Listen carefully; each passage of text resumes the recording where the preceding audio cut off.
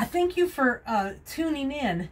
This is the 17th of June of 2021, and the title of this study is Be Clear Where Your Soul Will Spend Eternity. Before I go further, we're going to pray. Father, please touch my speech, my mouth, my understanding, my eyes. Uh, Father, and your word, most importantly, that it goes out and touches every hearer's heart.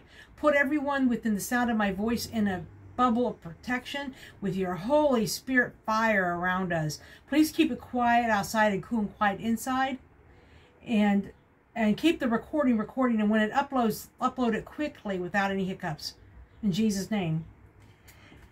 Now let's look at this first. Let's look at First John chapter 5 verse 10 to 13. He that believeth on the Son of God has the witness in himself. He that believeth not God has made him a liar because he has not um, the record that God, he believeth not the record that God gave of his Son.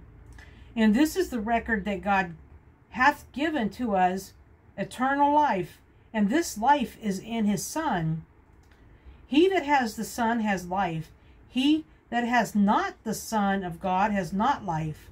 These things have I written unto you that believe on the name of the Son of God, that ye may know that ye have eternal life, and that ye may believe on the name of the Son of God.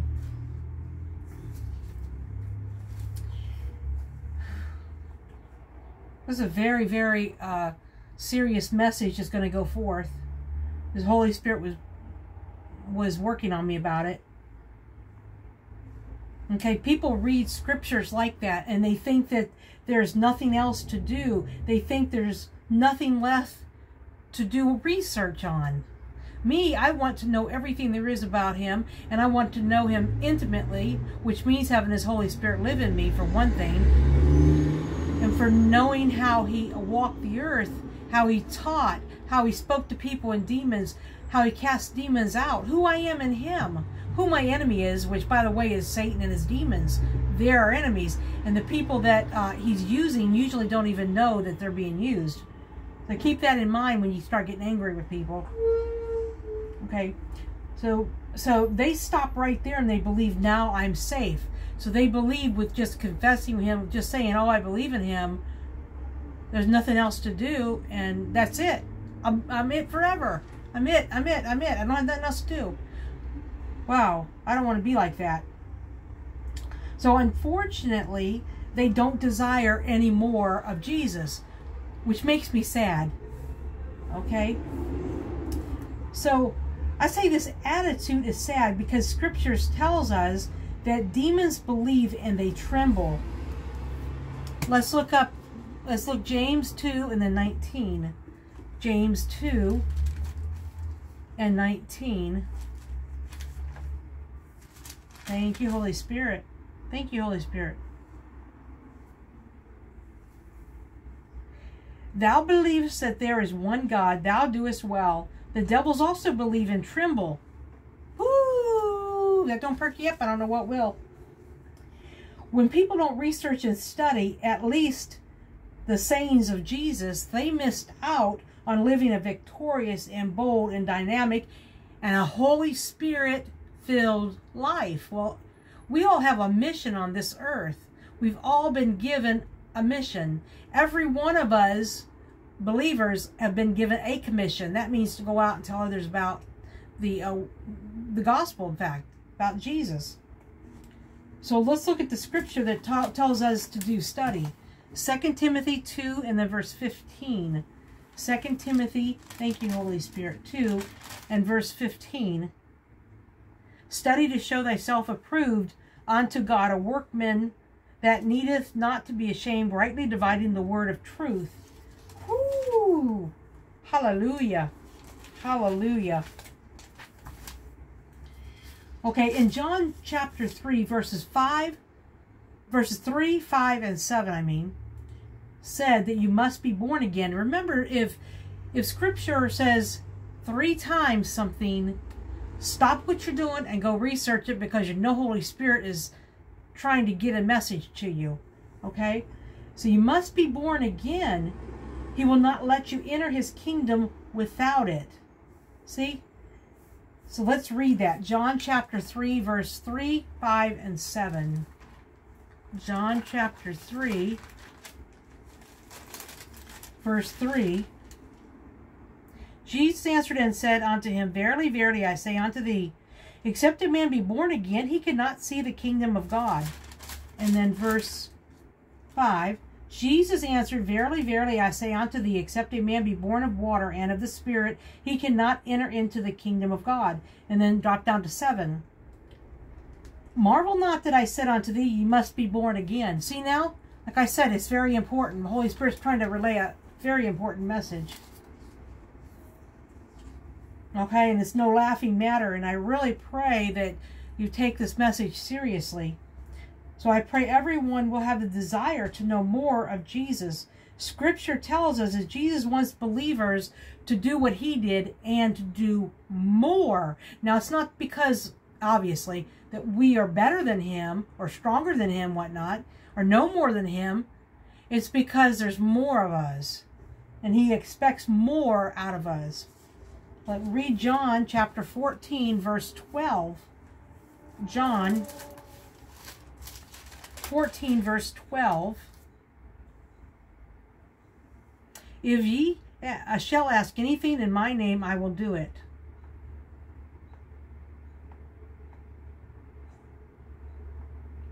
Yeah, John chapter 14, verse oh, 12, I'm sorry. Verily, verily, I say unto you, he that believeth on me, the works that I do, shall he do also, and greater works than these shall he do because I go unto my Father. I'm sorry, I read uh, 15 and not uh, 12.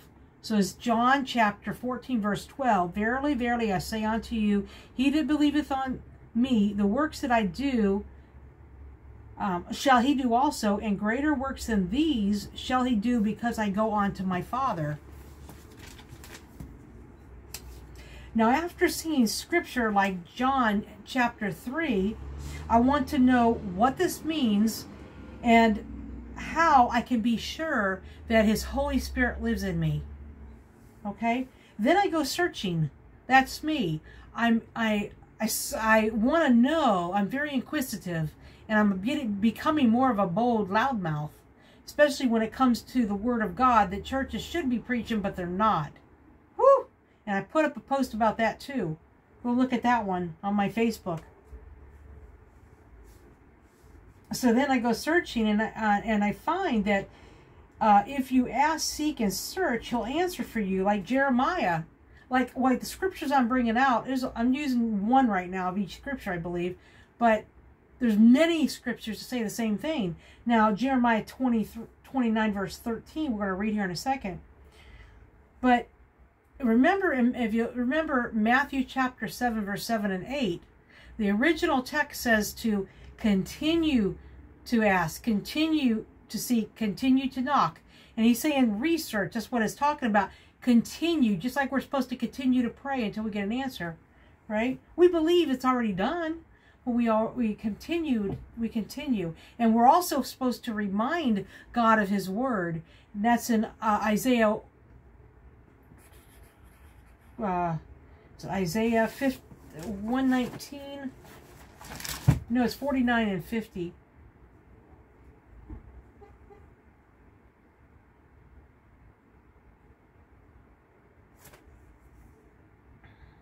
Isaiah, um, there it is, 119, 49 and 50. I was right. Isaiah 119 and verse 49 and 50. God tells us in many different places in the Word to remind Him of His Word. Also, He loves it when you read back His, His Word to Him. Hallelujah. And I try doing that every day, reading out loud. But let's look at Jeremiah 29, verse 13. Jeremiah 29, after Isaiah, verse 13. And ye shall seek me and find me when ye shall search for me with all your heart. Yeah, remember that. It's a heart issue. Hallelujah. So believe me. Uh, really, one, you know, I want. It's like the Berean churches. Let's put it this way. I want to be like the Berean church. And he spoke about in Revelation and it spoke about in uh, Acts, Acts chapter 17, verse 10 to 11, where they searched diligently the scriptures to find out if what they were hearing was truth. That's why God loved them so much. Okay, that's what I want to be like. So we're going to look at Acts 17, verse 10 and 11. Acts 17, verse 10 and 11. Acts 17, 10 and 11. And the brethren immediately sent away Paul and Silas by night unto Berea, uh, who coming hither went into the synagogue of the Jews. These were more noble than those in Thessalonica, in that they received the word with all readiness of mind and searched the scriptures daily whether those things were so. That's how we need to be in the word daily. We need to speak speaking in tongues and daily. Daily, daily, daily. In the word daily, daily, speaking in tongues. Daily, daily, daily, believing what the word says and reading it out loud. Hallelujah. So at the risk of this video getting longer, uh, Holy Spirit wishes me to tell you how you can know beyond any shadow of a doubt that your salvation and eternal life with your Creator and Savior Christ is for sure. Okay? And obviously you want to know that. I wanted to know. I searched diligently to make sure. However, before I tell you this truth, I want you to know that Father Abba does not give you a gift for instance, he does not give you salvation and then rip it away from you like, ha ha ha, see what you had, see what I have, see what, you know. He doesn't give you salvation and rip it away from you, you know, but he will not tolerate sin. And there is only two ways that you can lose your salvation. One is by walking away and, and denying Christ. And the other one is by blaspheming the Holy Spirit. Now, let me make it clear what blasphemy is. Blasphemy is making something good evil. In other words, it's making Holy Spirit evil. And that we know that's uh, that's evil in itself, thinking like that. But that's what blasphemy is, making something that's good into evil. And uh, and he tells you, or Jesus tells you in Matthew chapter 12, you will not be forgiven of, of blasphemy of Holy Spirit in this life or in the next to come. So you got to be real careful. And by the way, if you have a, if you worry about, that's the that's demonic doing, that's demons that are putting this in your mind. If you're worrying that you blaspheme the Holy Spirit, because a true child of God has the Holy Spirit living inside of them or love Jesus, will not blaspheme the Holy Spirit. Once again, blasphemy the Holy Spirit is making it into an evil, into evil. Let's look at that. In Matthew chapter 12, verse 32, look at what Jesus said. Matthew chapter 12, verse 32. Whatsoever speaketh a word against the Son of Man, it shall be forgiven him. Whosoever speaketh against the Holy Ghost, it shall not be forgiven him, neither in this world, neither in the world to come. So it's a very, very uh, serious subject. So now that's out of the way, um, I can tell you how to make sure Holy Spirit lives inside of you. Okay? So when you start praising God, you start praising God, His Holy Spirit will get excited. Okay? And start speaking in an unlearned language it's just awesome. So the more that you let Holy Spirit speak through you, even if it talks like garble or baby talk, let him speak because that his language will get more defined, it'll get more bold, right? And it'll get stronger also, and it edifies, he'll edify your inner man. You know, and you need to be edified by Holy Spirit in order to live a victorious, bold, Holy Spirit filled life. Hallelujah. And do the things that Jesus wants you to do. Cast out demons, heal the sick. The word says, I, and uh, Mark said, well, in other places too, but in Mark says, you, you know, you will lay hands on the sick and they shall recover. If you have Holy Spirit in you, you'll know what uh, demons it is and you'll call them out by name. So you have to rely on Holy Spirit and you have to come whole, uh, holy, wholeheartedly humble and repentant in front of Holy Spirit. You ask him these things and he'll tell you. He's your best friend. He wants to know all about you. Just like your best friend. I was asking, in fact, Holy Spirit for maybe two weeks. I was saying, how can you be my best friend? I can't feel you. Well, that was a lie because I could feel him. I had to correct myself on that even when I was talking to him, saying it out loud. And I said, I don't know where you are, you know, so how? So all of a sudden, Holy Spirit came in, boom, like a flood, just like in Acts chapter 2, when all the, the people, 120 of them, I think it was, were sitting up in the upper room waiting for to be endued with power and the Holy Spirit. So this is what Jesus told them to do, and that's what they were doing, waiting. And they, the, the scripture said that Holy Spirit came in, a mighty rushing wind came in and sat on each one of them, each one of the people, as if a as if a tongue of fire or clove of fire was sitting on their uh, head, and they began, each person began to speak as the Spirit gave them utterance. So, however the Spirit wanted them to talk, they they did it. They let Holy Spirit speak through them. So that's what I'm saying. Um, he'll come. So when he came into, he came into the car just like that, and I just started crying. I was crying for oh God knows how long I was crying for a while, and I understood a light. It was a light bulb moment. Praise God. I like those light bulb moments. But I understood Holy Spirit is like a best friend in the natural because you can answer for them, you can order for them, you know what they're thinking, you know what kind of clothes they like, you know um, what kind of foods they like.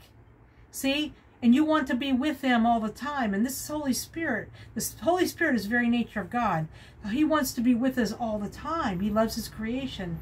That's why he wants to indwell in you. He wants to have that that um, physical and intimacy, that intimacy which is like a man knowing his wife.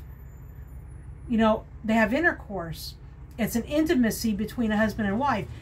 And that's another thing, that's why we're called the bride of Christ, because he knows us intimately. He lives inside of us. So um, this is what he wants.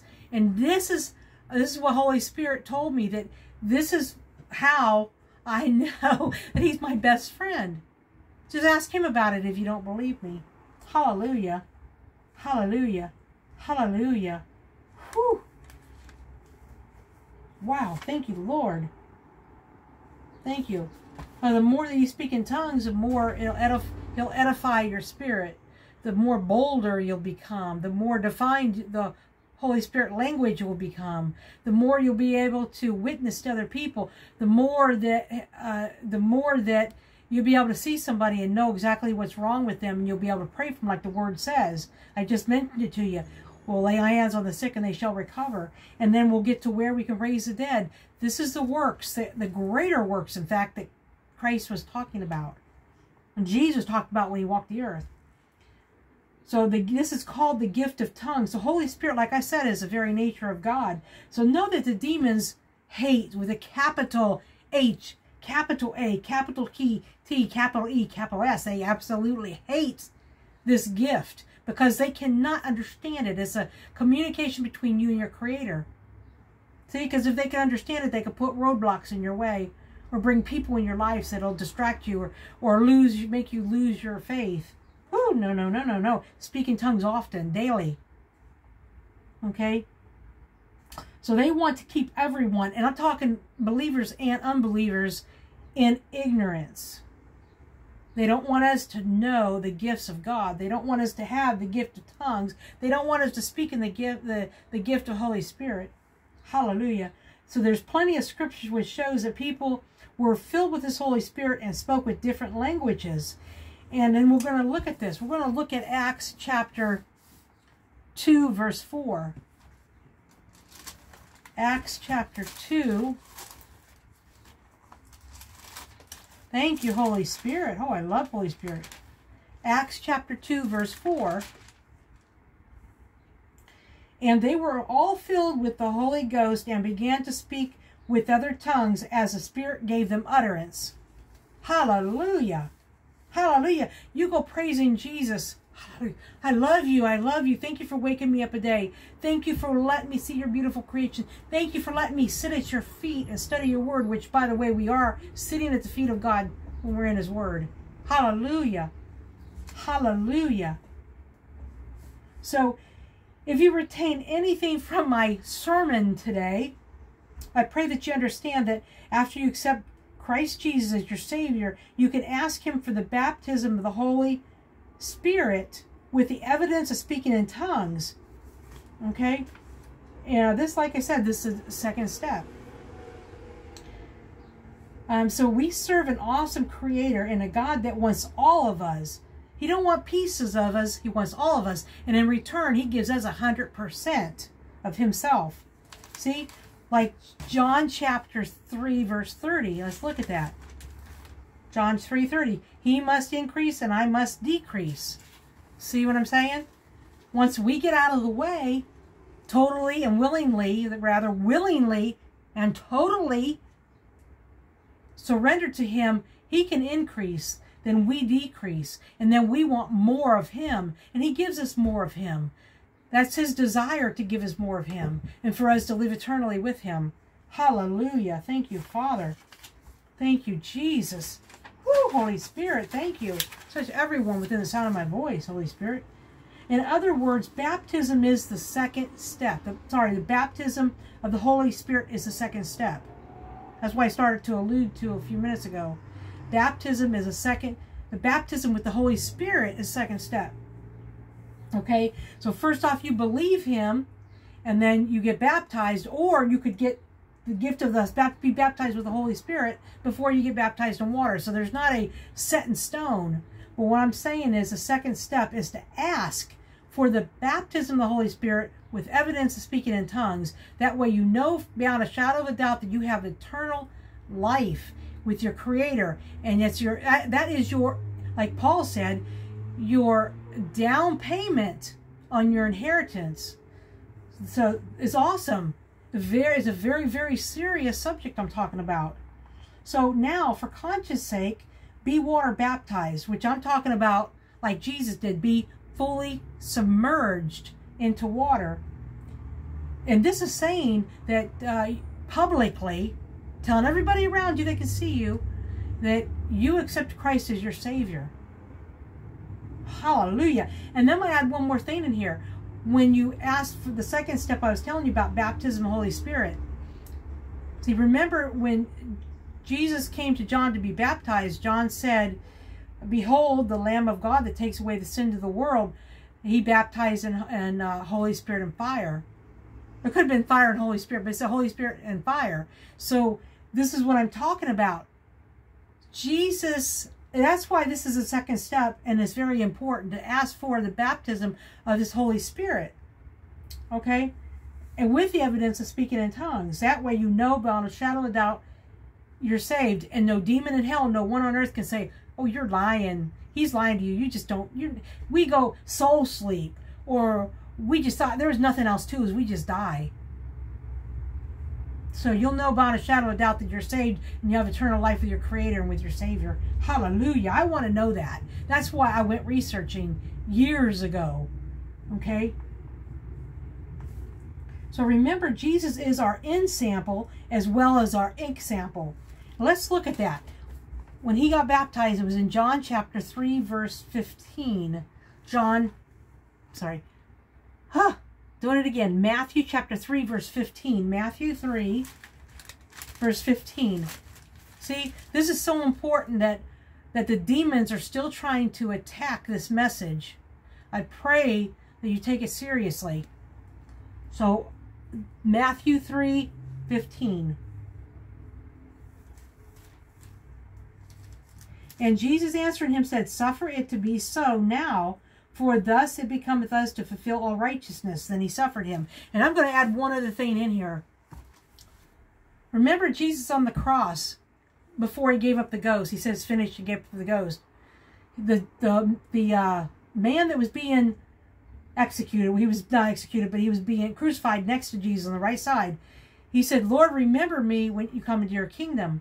Jesus said to him, Today you'll be with me in paradise.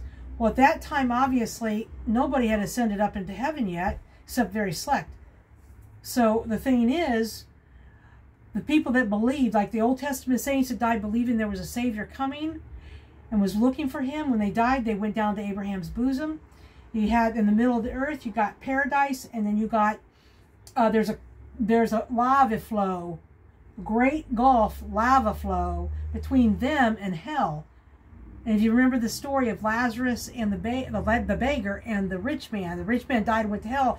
Beggar Lazarus went to Abraham's bosom. So this is what I'm talking about. People would die believing there was a Savior coming before Christ was crucified. They went down. Now Jesus gave up the ghost, but the, the thing before he gave up the ghost, he told the man on the right side, "Today you'll be with me in paradise." The man repented, and God and, and he asked he asked Jesus to remember him. So he went into paradise after Jesus did, because if you remember, the centurions came and broke the legs of the two that were on either side of Jesus, but Jesus was already dead. That's why they didn't break his legs, which fulfills what I, I think was Isaiah said, no, bro, no bone shall be broken. So the thing is, he went down to paradise to preach to the souls that were down there waiting for a Savior. Hallelujah. Thank you for that. That's where the three days and three nights came from before he came up out of his tomb. Before Mary seen him and said, Rabbi, and started to reach for him when she gra- when she started to grab hold of him, hug him for joy. I know.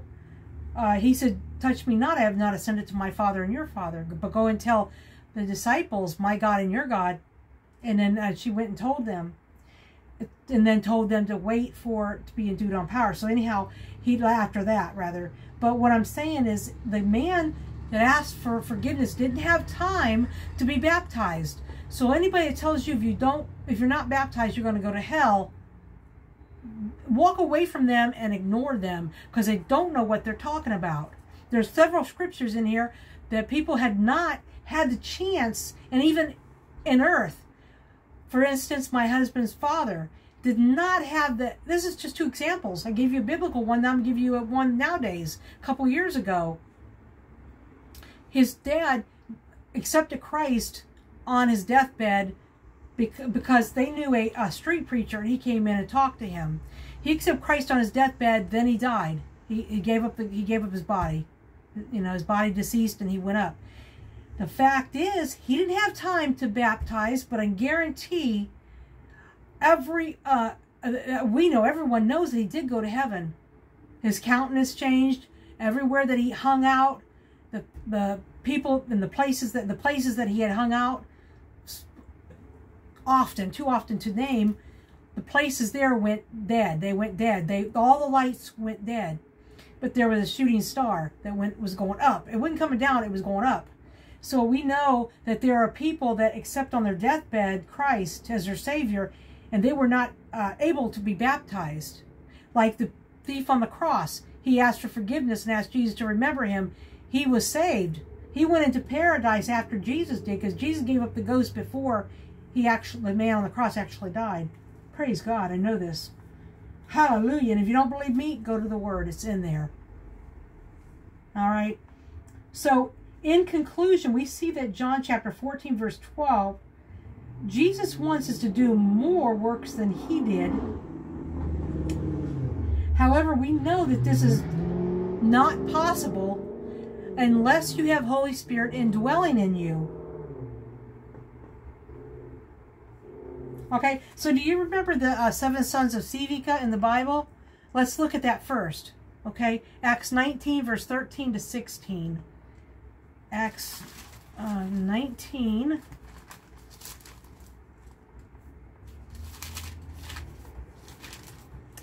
Okay, verse 13 to 16. Acts 19, verse 13 to 16.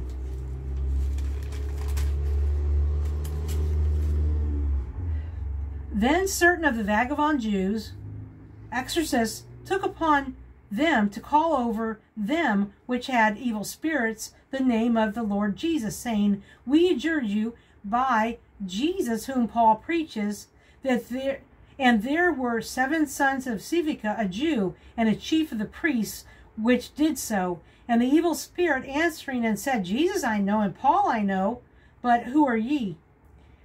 And the man in whom the evil spirit was leaped on him, them, I mean, and overcame them and prevailed against them so that they fled out of the house naked and wounded. It says, it goes on to say that everyone knew about that, that that had happened after that happened, and they got even more so scared because you have to have Holy Spirit living in you in order to live a victorious life and to be bold, like I said, and to edify your spirit and to cast out demons and to heal the sick. Whew. I'll say that first. Now let's look at John chapter 14, verse 12. John 14, verse 12.